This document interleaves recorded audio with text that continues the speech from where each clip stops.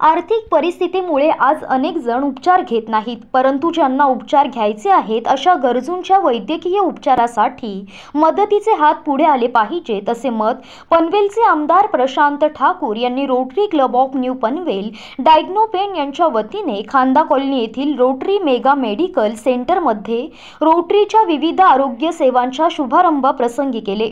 या कार्यक्रमास माजी नगराध्यक्ष जे M Mhatre doctor Girish Gune Rotary Club of New Panvel charitable ट्रस्टचे चेअरमन विलास कोठारी डॉक्टर अनिल परमार सतीश बनवट प्रफुल्ल कोठारी आदी मान्यवर उपस्थित होते. यावेळी मान्यवरांच्या हस्ते फीत कापून डायलिसिस सेंटर डायग्नोस्टिक सेंटर दातांचा दवाखाना सोनोग्राफी रक्त तपासणी या कमीत कमी खर्चाच्या वैद्यकीय सेवांचा प्रारंभ करण्यात आला. यावेळी बोलताना आमदार प्रशांत ठाकूर म्हणाले की पनवेलचे मोठ्या प्रमाणात शहरीकरण वाढत आहे. समाजामध्ये इतरांवरती अवलंबून राहण्याची संख्या मोठी आहे. आजारपणही वाढत आहे त्यासाठी केंद्र व राज्य सरकार मदत करेल. आरोग्यविषयी त्यांच्याही काही योजना आहेत त्याचा लाभ घेता येईल परंतु समाजामध्ये गरजू असणाऱ्या रुग्णांसाठी Rotary Club of New Panvel हे सामाजिक बांधिलकी म्हणून आज वैद्यकीय सेवा जनतेला देत आहे. आयुष्य जगत असताना आपल्या समाजासाठी काहीतरी करायचे आहे यासाठी कृतीची जोड असली पाहिजे असे कार्य Rotary Club of New Panvel करत असल्याचे त्यांनी सांगितले. यावेळी आमदार प्रशांत ठाकूर यांनी या रोटरी सेंटरमध्ये डायलिसिस करणाऱ्या एका रुग्णाचा एक वर्षाचा खर्च मी करणार असल्याची घोषणा त्यांनी केली आहे. या अशा पद्धतीच्या सेवा जर अखंडितपणानं सुरू राहायच्या असतील तर वेगवेगळ्या पद्धतीच्या डोनर्सनी पुढे येऊन आता दायदार जे या ठिकाणी उपस्थित आहेत त्यांनी सुद्धा इथे एक बोली दिलेली आहे. असा अनेकांचा उल्लेख करावा लागेल. तर असे वेगवेगळी लोक पुढे येऊन ज्यावेळेला समाजासाठी आपलं योगदान द्यायला इच्छुक असतात तर मला असं वाटतं की तो समाज दीर्घकाळ हातात हात घालून पुढे चालू शकतो. समाजामध्ये विषमता नसली पाहिजे आपण म्हणू पण समाजामध्ये विषमता आहे पण ज्याच्या ते लक्षात येत नाही त्यांनी समाजासाठी काहीतरी देण्याची भूमिका जर घेतली तर मला असं वाटतं की तो समाज को एक्झिस्टन्स आपण म्हणतो.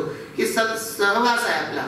आपण सोबत वापरतोय ज्याच्याकडे खिशात पैसे आहेत तोही आणि ज्याच्या खिशात कदाचित आज नाही पण तो समाजाला वेगळ्या मार्गानं सेवा देऊ शकतो अशी लोक पुढे येऊ शकतात.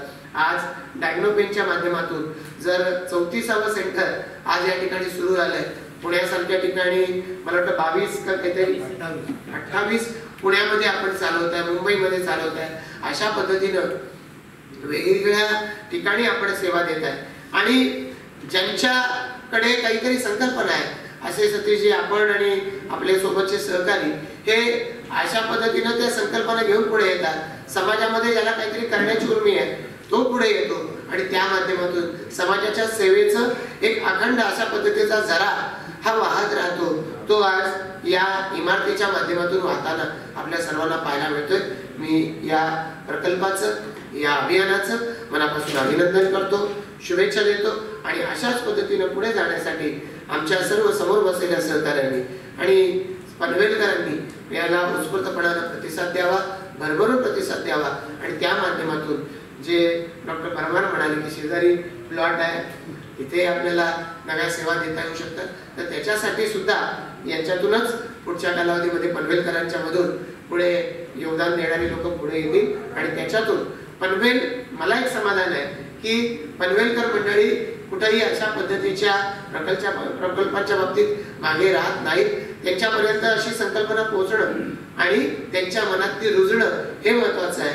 आजचं हे आजचा हा कार्यक्रम हा मला वाटतं की अशा पुढच्या अनेक कार्यक्रमांसाठी सुरुवात घडू शकतं. यासाठी मी लक्षे आपले ट्रस्टचे चेअरमन विलाशेख कोठारी यांना मनापासून धन्यवाद देतो.